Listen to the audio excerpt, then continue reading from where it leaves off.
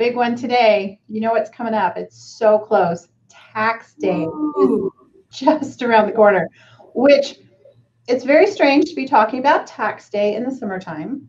Um, First time everything. everybody's thinking about the 4th of July and the long weekend coming up. But yes, tax day is coming up. It's, well, 15 days away now. Um, it's getting really close. I know a lot of people have already done their taxes. So it probably won't be quite as crazy as tax day normally is.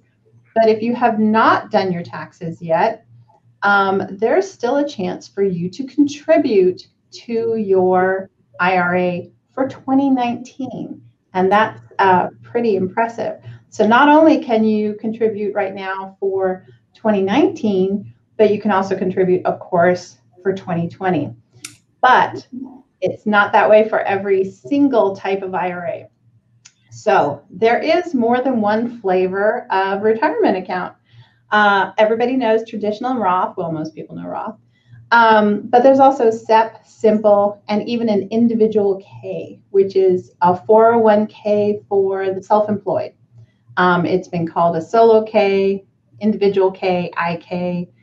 Um, basically, it's a, it's a one person IR, uh, 401k that is for sole proprietor business owners and either a spouse or one partner.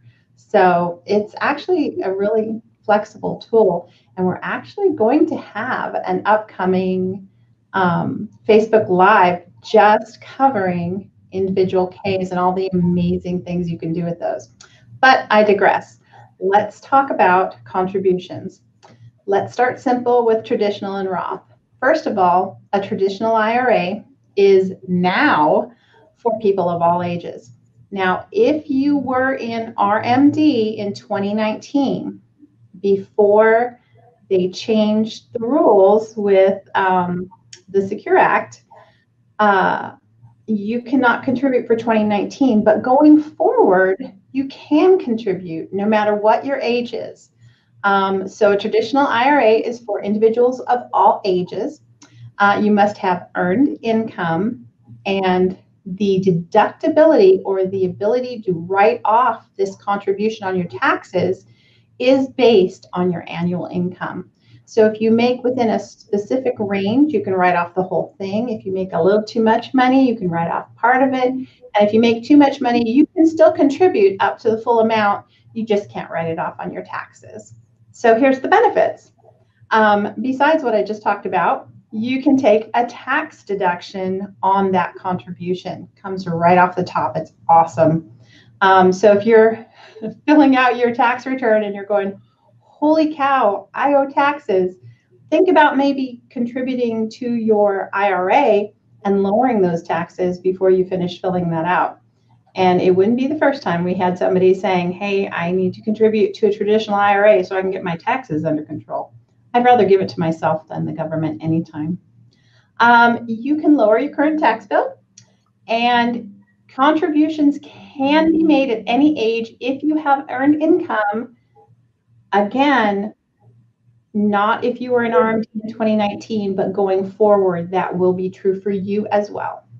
And if you ever have any questions on what earned income is, I know the earned income might seem confusing because any kind of income is earned when you think about it. Um, there are certain parameters and requirements.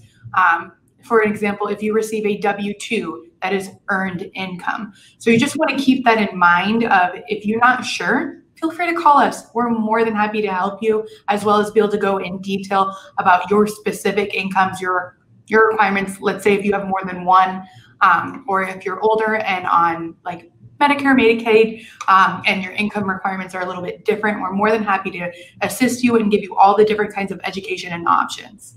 Absolutely. Okay, so there's a traditional, now there's a Roth. Now, a Roth is a post tax contribution. So you don't get a tax write off, but of course, a Roth does grow tax free. Uh, love those tax free benefits. So, this is again for individuals of all ages. Um, you must have earned income again, and you must be within a certain um, MAGI. So, you want to tell them what a MAGI is? It's marginal adjusted gross income. Right. So I know we use these kind of acronyms and terms, and if you're ever unsure if we're using it, feel free to call us and let us uh, let us know that you have questions on that. Just so we said in the previous slide, there's a lot of back of office financial terms that we use very freely because we use them every day. Um, there's no dumb questions. Uh, we understand that there is a different type of financial language that we use on an everyday basis that your regular Joe does not. And there's no shame in that. We are here to give you all the education so you can use the tools to be able to do what, what you want. Before I keep before Diana keeps going, I did want to mention with a Roth IRA, even if you have already filed your taxes, you can still contribute to the tax filing deadline. And you have 14 days, not including today, 14 calendar days to get that account open and to put that money in to be able to basically get all of 2019 now in July 2020. So without further ado, I will let Diana continue. Absolutely. So some people can't contribute to a Roth if their modified adjusted gross income is too high. Um, you can do a conversion, which I think was follow the money part two.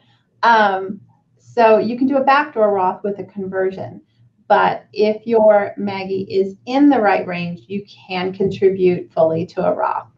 Um, and then you get, here's the benefits, tax-free earnings and no taxation on withdrawals if your plan has been qualified, which means you're over 59 and a half, have a qualifying life event, or and or you're you have to have had it open for at least five years. Um, you can invest for retirement and still access your funds and contributions can be made at any age as long as you have that earned income. So let's talk about money. In 2019, and actually in 2020, this one stayed the same this year. Some of the others changed, but traditional and Roth did not change. If you're under 50, you could put in $6,000 um, towards your traditional or your Roth, or a traditional and a Roth.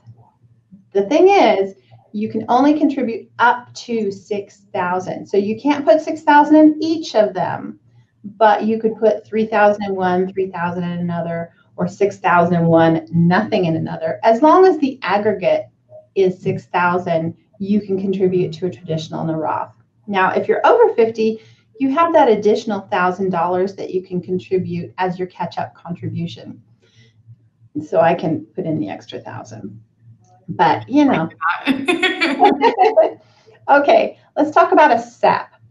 Uh, a simplified employee pension plan is for sole proprietors, independent contractors, self-employed partners, corporations, or S corps. And yes, if you have an LLC, you can have a SEP. So the criteria is um, self-employed individuals who receive earned income. So even if that business is just your business and it's just you, you can open a SEP and contribute from the SEP. Now the difference is a SEP um, is money that comes from the business. So it's it can be used like profit sharing, um, but it doesn't come out of your paycheck, but it is based on what you pay. So let's talk about the benefits. Um, it has low startup costs and administration fees. It helps you to reduce business taxes, not personal taxes. It's actually really, really easy to set it up and run it. Um, a lot of people like the simplicity of the SEP over the IK just because it is very easy to sit, set up and maintain. Um, and contributions can be made to your traditional IRA. So, um, the good part about a SEP is contribution deadline is tax day plus extensions. Now, that's really cool. So you can go beyond the 15th if you filed an extension, although this whole year seems like it's full of extensions for all of us.